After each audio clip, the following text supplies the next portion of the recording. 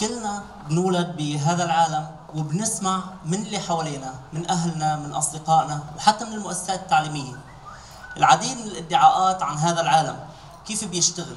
شو الصح وشو الغلط؟ بيتبادر لذهننا نحن عاد هون سؤال إنه يا هل ترى كيف نحن رح نعرف هالأشخاص اللي عم يخبرونا هيك قصص؟ كيف رح نعرف شو هو الصح من الغلط؟ ولحتى نجاوب على هيك شيء نحن لازم نفهم أول شيء معنى شو يعني يكون ادعاء صحيح عن الواقع. هلا شو يعني بس تقول أنا عن جانب من الواقع؟ عن ادعاء بيوصف جانب من الواقع إنه صحيح. لما هالادعاء فعلا بينطبق عليه مش هيك؟ طب كيف بقدر ميزه؟ الجواب كثير بسيط. بقدر هلا بدي أعطيكم مثال لحالكم تقدروا تستخلصوه. إذا هلا أنا بقول لكم بالشروط اللي نحن فيها هلا بهالقاعة بدي أعطيكم ثلاث ادعاءات. واحد منهم إنه بدي نط فبس إني نط رح أرجع أنزل على الأرض والثاني بيقول بس إني نط رح ضلني معلق بالهواء. والثالث بيقول بس نط رح ضلني ارتفع للأعلى. طب لما بسألكم أنا أيام منهم الادعاء الصحيح شو رح تقولوا لي؟ مباشرة رح تعرفوا إنه الأول. طب كيف عرفتوا أنتم إنه الادعاء الأول هو الادعاء الصحيح؟ من خلال التجربه من خلال التجربة. فعمليا اللي بيبين صحة ادعاء المحك هو التجربة. فإذا نحن حبينا نبني أوثق نموذج بنيناه عن العالم المحيط فينا. هذا النموذج من خلال شو بده ينبنى؟ من خلال الادعاءات اللي نحن فقط تم التحقق من صحتها. صحيح؟ وبالتالي من خلال الادعاءات اللي نحن قدرنا نثبتها تجريبيا. هذا هو بالضبط روح المغامرة العلمية. هي هو جوهر العلم. ولهيك العلم هو أوثق من غيره. لهيك الحقيقة بالعلم هي مش وجهة نظر، يعني ما في مكان للديمقراطية بس يصل الأمر للعلم، ما في مجال العلم بيقول هيك بس أنا رأيي بيقول شيء ثاني، لا هذه القصة ما بتزبط بالعلم، هي بتزبط بالنقاشات بالقصص الاجتماعية مثلا بين الناس، أما بس نحكي عن شيء علمي وجهة النظر بدها تتحير على جنب. طيب رح احاول لخص لكم طريقة التفكير، شو كيف العلم بيبني على الإدعاءات الصحيحة نماذج عن العالم. من خلال مثال بدهم يسامحوني اللي سامعيني كثير مستخدمه بس هذا مثال كثير بحب أستخدمه لأنه كثير بسيط بيقدر الطفل الصغير يفهم منه جوهر المنهج العلمي. تخيلوا هلأ في شخصين قاعدين وإجا واحد لعندهم وعم يقول لهم إنه يا جماعة أنا اكتشفت إني لما عم بحط بريق مي على النار عم بصير يسخن هذا البريق. تمام؟ طيب أول شغلة هن عم يقولوا فسروا لي هي الظاهرة. طب هلأ هن إذا بدهم قبل ما يبلشوا يحاولوا يفسروا هي الظاهرة بيتاكدوا أنها موجودة صح ولا لا؟ وإلا كل واحد ممكن يطلع معه أي شيء بذهنه ويقول لهم فسروا لي اياها هي الظاهرة. هلأ بيروحوا بيعملوا تجربة بيكرروا الظاهرة بالشروط اللي بيحكوا عنها بيلقوها صارت فعلا. فإذا اول شغله نبلش ندرس الظواهر نحن علميا بنتأكد إنه هي ظواهر موجودة وبالتالي بتكون قابلة للتكرار.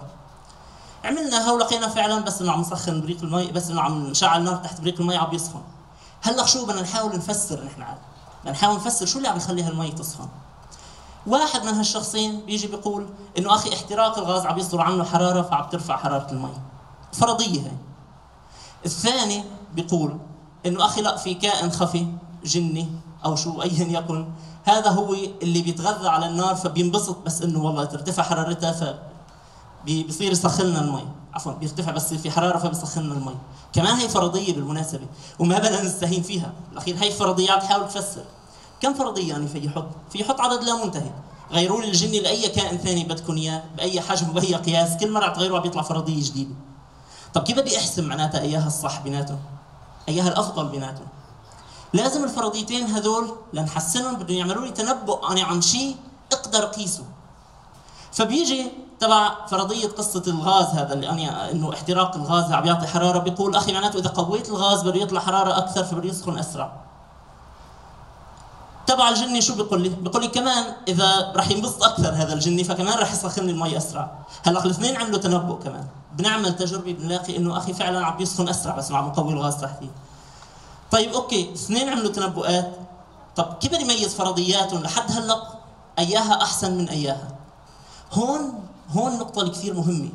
هون جوهر الشيء اللي لازم تمتع فيه الفرضيه العلميه تبع الغاز بيقول إذا فرضيتي غلط إذا فرضيتي غلط فإذا بطل الغاز يحترق والمش احتراق الغاز هو مصدر هو اللي عم يسبب إنه عم يسخن هالبريق فرح يضل يسخن البريق.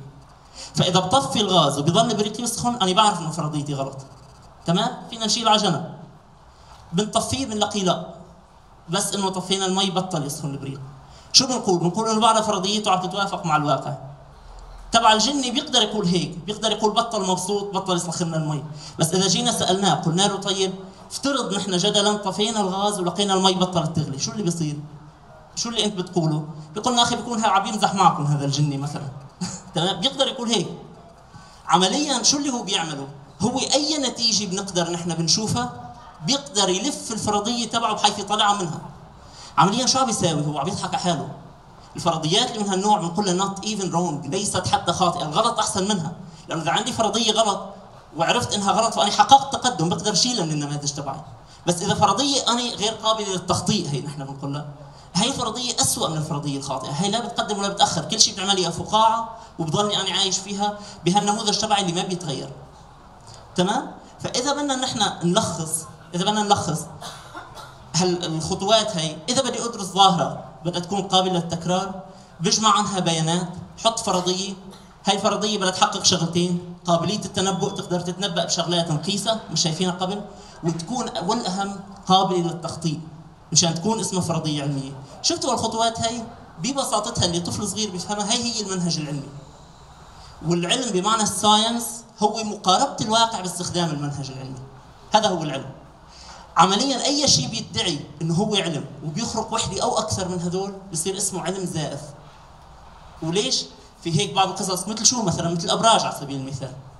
الأبراج ببساطة فيكم تتاكدوا منها إن هي ما بتحقق خاصية قابلية التخطيط.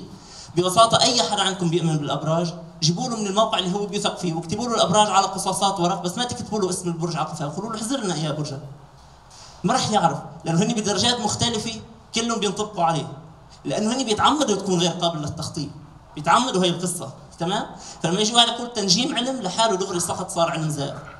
بينطبق على هاي القصة الناس اللي بيحكوا إنه في شيء اسمه شاكرات وفي شيء اسمه طاقة روحية بينطبق عليها قصة العلاج الروحي البرمجة اللغوية العصبية. وهلما جرى من القصص اللي هي ثبت إن هي علوم زائفة.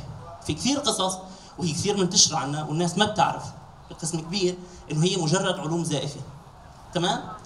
طيب هلا يا هل ترى؟ يا هل ترى؟ شو أهمية؟ أو هل العلم أهميته؟ مقتصرة المنهج العلمي على تطبيقه بالعلوم البحثه لا. وهي هي النقطة اللي أنا حابب أوصلكم إياها اليوم. أهم شيء بالمنهج العلمي هو لما الشخص بصير يسقطه ويطبقه بكل جوانب حياته. لأنه حياة الشخص بصير جواته هو ثورة فكرية. بصير مختلف تماما. غير إنه العلم بيحصلنا إنه نقع ضحية لشتى أنواع الخرافات. الا انه اللي أنا حكيت لكم إياه هلأ هو رأس جبل الجليد رأس جبل الجليد يعني إذا بدي أحكي ما ما بلحق بهالوقت القصير أقول لكم رح يلحق فيه واحد رح يضطر يتعلم المنطق. مضطر يكون موضوعي لأنه هو بيعرف بأي لحظة بتيجي بيانات تجريبية تختلف عن الشيء اللي أنا مقتنع فيه لازم غير. العلم بيفرض علي إنه غير. وبالتالي الآخر المختلف عني لازم دائما أحط بذهني إنه قد يكون على حق وبالتالي أنا لازم أتقبل هذا الآخر. شريطة إنه يقدم لي أدلة. أيضا تخيلوا أنتم مثلا آه بيحمينا من أنواع نحن البشر بنحب نضحك على حالنا. كثير من أنواع الانحيازات. مثلا في شيء اسمه الانحياز التاكيدي إنه نحن منتذكر الشغلات أو ندور على الشغلات اللي بتوافق قناعتنا نحن. تمام؟